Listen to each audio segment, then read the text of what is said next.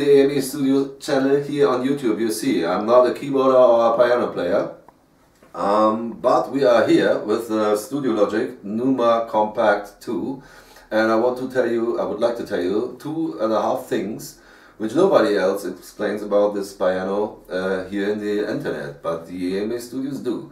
Um, I don't want to make this much effort to put Toto, our professional film, in charge again. Uh, I spare him up to shoot our new uh, ESC uh, application video. That's why we are again here in, my, in our home. This time not at Guillermo's home, this time in my home. Guillermo is filming again with my cheap camera. Guillermo say hello to the crowd. Hello crowd! Like the last time. So, uh, but before we start I want to show you some goodies I have here uh, currently in my home. Currently here, the Korg Poly 6. Freshly repaired and packed on his way to our studio. Drumtec Diablo Electronic Drum Series. The Guild D55 Original. This one doesn't need any introduction. Here is the LAG series, 400 series, customized with a Fishman Sonitone um, pickup by Markus Scharte from Music Center Scharte. Here the vintage AP Epiphone Les Paul Custom from 1980.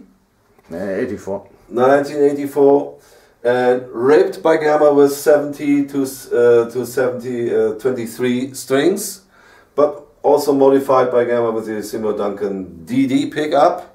So if you're looking for a real razor or lawnmower sound, this is the right deal for you. And the Sandberg Precision Electra the Sandberg Precision Jazz, Electra and California are the most, are the best basses I've played in my whole life and I played a lot, currently play this, very good. And our customized Harley Benton Rickenbacker copy with customized Macclesfield emblem, customized Harley Benton emblem, original uh, Rickenbacker knob, temperature measurement and customized blue LED light socket here. So, but we are not here for these things, we are here for that thing, for the Numa Compact 2 digital piano. So, we want to have a piano for the studio. I will say, let's let's have a look. Let's buy a cheap one. Under, but for under 400 euros, what uh, do you experience? Every piano has a bullshit 3.1 millimeter uh, jack output, uh, like the headphone for everything, and uh, that's all. And no MIDI and only USB uh, socket. Some of them have got a cinch output. Some of them have the have the have the uh, output in the front. Some of them have has a six Uh, 0.3 millimeter jack at all, but only aux or what is there for everything, one for everything. There is no thing which has reasonable, correct 3.6 millimeters jack left and right and traditional MIDI in and out and a USB too. So that's why I connected with my old 80s synths. They only have MIDI, they don't have USB.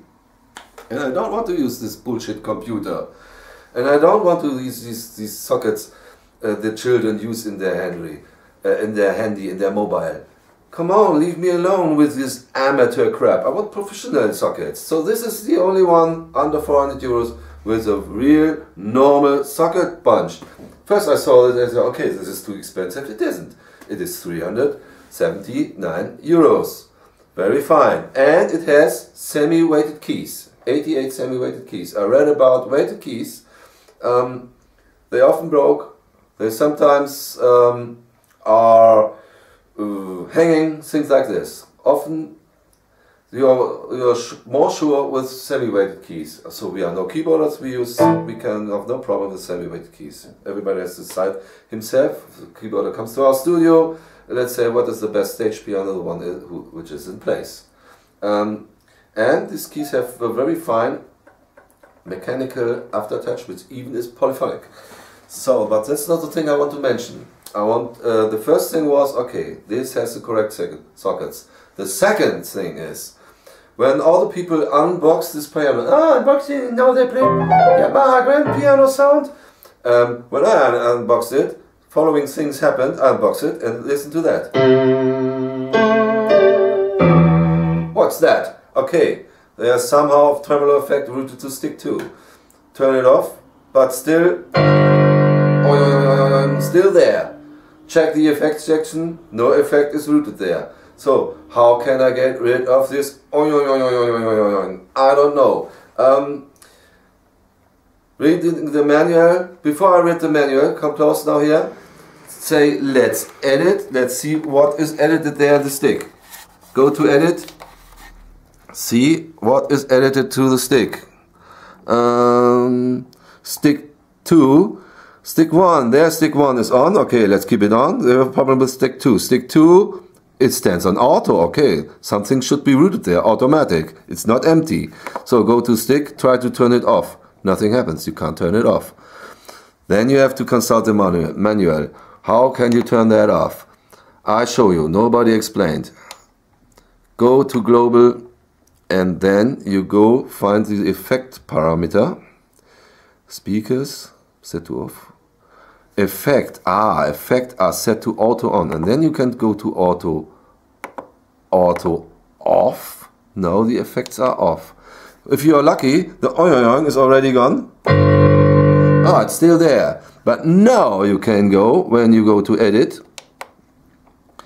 Go to again stick 2 stick 2 is now routed to fx2 you will need that later for the organ Leslie but now you can switch this disturbing thing off Make sure the other layer is switched off too.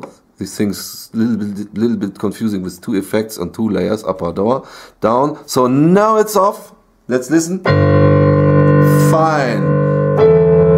Here you have the Yamaha Grand with no disturbing effect. Um, but it's recommended to um, turn the effect on again because, wait a minute, edit,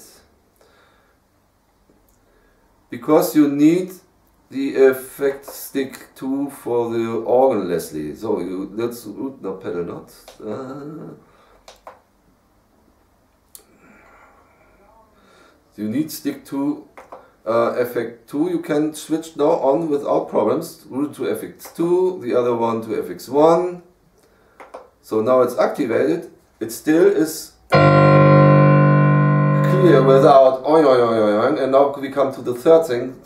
A lot of people mention that, that's why I say two and a half things.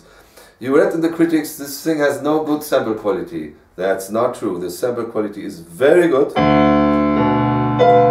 Uh, good piano sound, make it clear. And you can see the good quality in the organ sound. You, you choose the organ section and lay uh, an 8E8, also a B8, uh, B, B3 Hammond.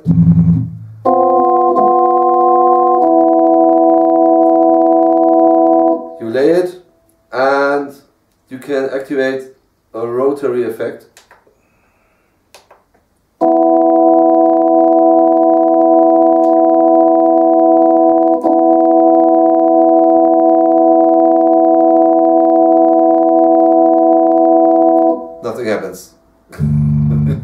mm -hmm.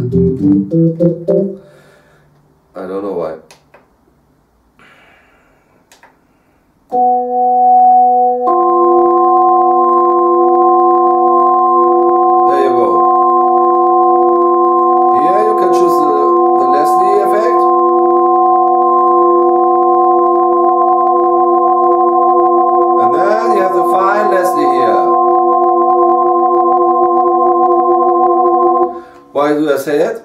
We have compared these sounds with our portable Hammond we have got in the studio and the Leslie function is more elegant from this old keyboard here compared to the original portable Hammond.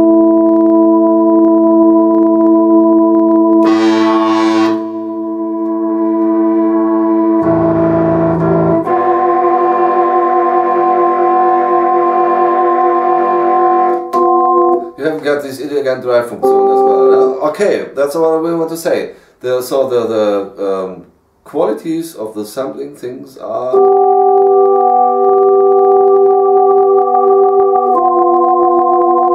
are very good. There are more good sounds have experienced, so this is a very good good digital piano for under 400 euros. Say goodbye from the EME studios here on YouTube.